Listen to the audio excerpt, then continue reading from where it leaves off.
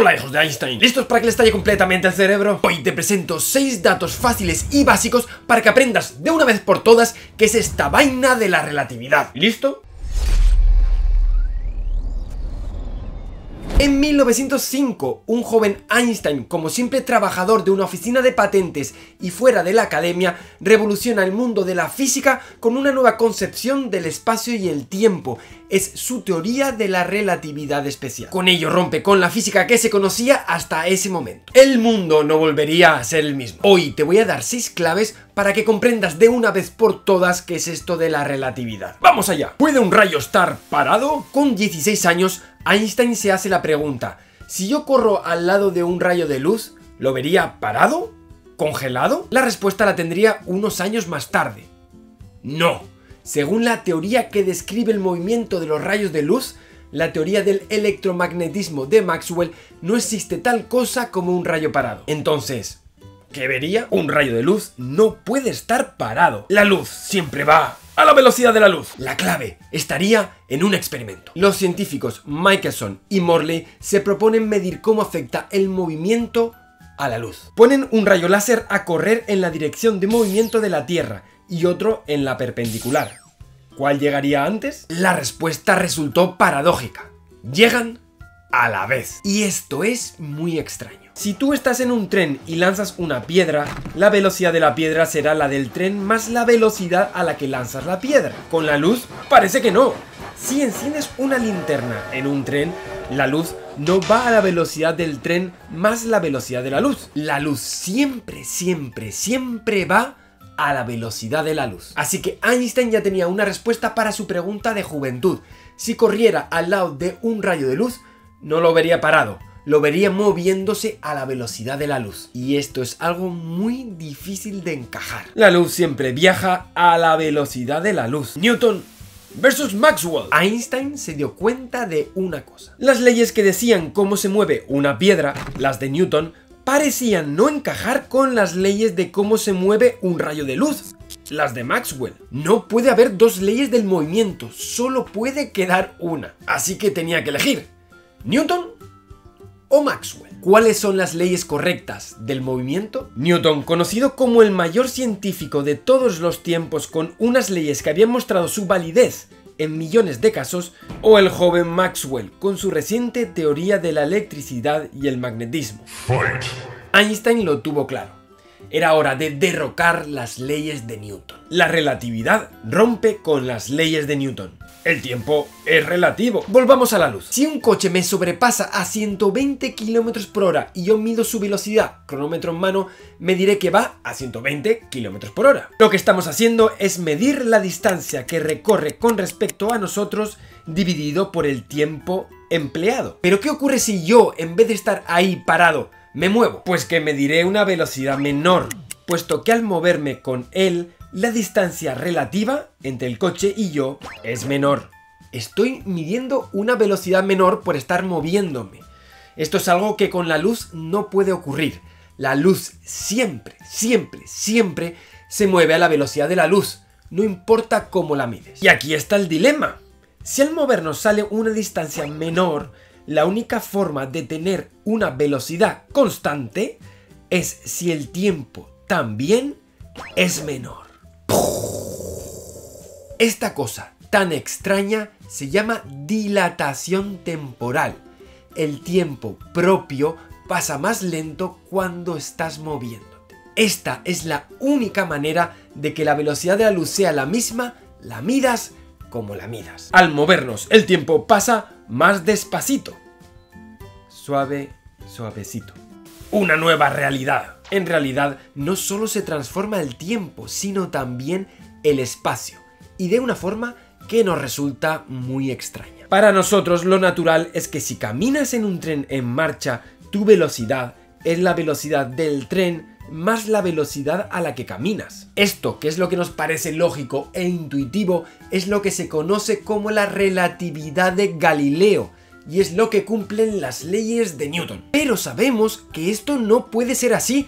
La luz siempre viaja a la velocidad de la luz, no puede sumarse con ninguna cosa. Las transformaciones que hay que hacer para que esto sea así son las transformaciones de Lorentz y dan lugar a la relatividad de Einstein. El tiempo y el espacio se comprimen de una forma muy singular para una persona en movimiento.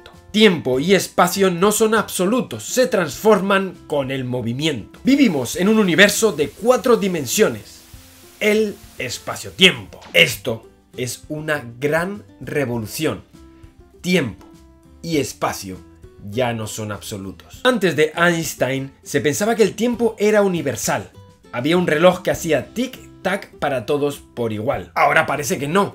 El tiempo es algo personal, que fluye de una forma individual para cada uno de nosotros. En realidad, para cada una de nuestras partículas. Cada uno tiene un pequeño reloj que hace tic-tac a su ritmo, según nos movemos por el espacio. Así que el tiempo no es un parámetro universal, una especie de reloj cósmico, sino que es una dimensión que se puede recorrer. De hecho, como es una dimensión que se altera con el movimiento en el espacio, hay que entender el tiempo como una dimensión acoplada a las tres dimensiones del espacio. Hablamos de espacio-tiempo, un universo de cuatro dimensiones. El tiempo es una dimensión. Y estas son las seis claves básicas para entender la teoría de la relatividad especial de Albert Einstein. Y déjate de decir la tontería esa de que todo es relativo. Mentira. Por ejemplo, la velocidad de la luz no es relativa, es absoluta. Como ves, todo el edificio de la relatividad especial de Einstein se construye con solo dos conceptos básicos. Uno, que la velocidad de la luz es la misma, la mida quien la mida. Y dos, Todas las leyes de la física son iguales independiente de tu estado de movimiento. Si has llegado hasta aquí, piratilla, y te has sabido a poco porque tú eres un hijo de Newton insaciable, agarra bien tu cerebro porque ahora viene una enorme explosión cerebral. Viene heavy metal del duro. Seis claves avanzadas para entender la relatividad especial de Albert Einstein. 1 Masa es energía. La masa es una forma de energía, es una consecuencia de los principios básicos de la relatividad especial. Y además es muy fácil deducir esta expresión a partir de los principios básicos. ¿Te atreves? Si necesitas ayuda, he hecho un vídeo explicándolo. Lo dejo por aquí. Los cuadrivectores y la relación masa-energía. La relación masa-energía anterior no es correcta, o mejor, es incompleta. Por aquí te dejo la forma correcta de expresar la relación entre masa y energía. En realidad, está la conexión entre espacio y tiempo que es mejor trabajar en vez de con vectores con cuadrivectores. Vectores con cuatro componentes, tres de espacio y uno de tiempo. Usando la notación cuadrivectorial y algo muy común en física teórica, haciendo la constante c de la velocidad de la luz igual a 1, se obtiene una relación entre masa y energía tan simple como esta. Nada puede ir más rápido que la luz en el vacío. Si la energía es masa y la masa es una especie de resistencia a los cambios de movimiento por el espacio, entonces podemos entender que al aumentar la velocidad se aumenta la energía y por lo tanto esta resistencia a los cambios de movimiento. De alguna forma está aumentando la masa del cuerpo. Entonces ya podemos entender por qué ningún cuerpo puede viajar a una velocidad superior a la velocidad de la luz. La masa de un cuerpo aumenta según su velocidad se hace mayor tendiendo infinito para la velocidad de la luz. Necesitarías una fuerza infinita para acelerarlo un poquito más. Por eso nada puede rebasar la velocidad de la luz en el vacío. Imposible. Impossible is nothing. Calla, pingao. El cono de luz. Si nada puede ir más rápido que la velocidad de la luz, entonces podemos crear el famosísimo cono de luz que muestra las regiones causalmente desconectadas del espacio-tiempo. En un diagrama de espacio y tiempo, todas las regiones fuera del cono de luz están desconectadas causalmente del punto de origen O. Nada de lo que ocurra en O puede afectar a ningún punto del espacio-tiempo fuera de este cono, puesto que requiere algo que viaje más rápido que la luz. Solo las cosas dentro del cono de luz del futuro de O pueden ser afectadas por O, y solo las cosas dentro del cono de luz del pasado de O pueden afectar a O. ¡Pobre O! Dilatación temporal. Con este concepto del cono de luz ya podemos entender un poquito mejor esto de la dilatación temporal. Una persona sentada en una silla, en reposo, en realidad está en movimiento. Se mueve en el tiempo, hacia el futuro. Cuando nos movemos por el espacio, estamos de alguna forma robando velocidad a nuestro viaje por el tiempo. Nuestro tiempo pasa más lentamente. Simultaneidad, otra de las locuras de la relatividad especial, es que rompe con el concepto de simultaneidad. Diferentes observadores pueden ver sucesos en el universo en diferente orden. Y todos tienen razón. Para Trump, en verde, A y B ocurren a la vez. Para Putin, en rojo, en movimiento con respecto a Trump, A ocurre antes que B. Mientras que para Peña Nieto, en azul, B es anterior a A. ¡Perra la vista! Pues esto ha sido todo, compañeros. Espero que les haya gustado mucho este vídeo dedicado a la relatividad especial. ¡Spam! ¡Spam! ¡Spam! Y anunciando que estaré en Cisco Live en Cancún, México, en diciembre. Un evento global de América Latina donde se discute sobre tecnología. Más de 5.000 expertos y aficionados en un evento de 5 días en Cancún. No te lo pierdas, ahí estaré ¿Nos conocemos? Pues esto ha sido todo, pirata. Nos vemos como siempre en el próximo vídeo. ¡Hasta pronto!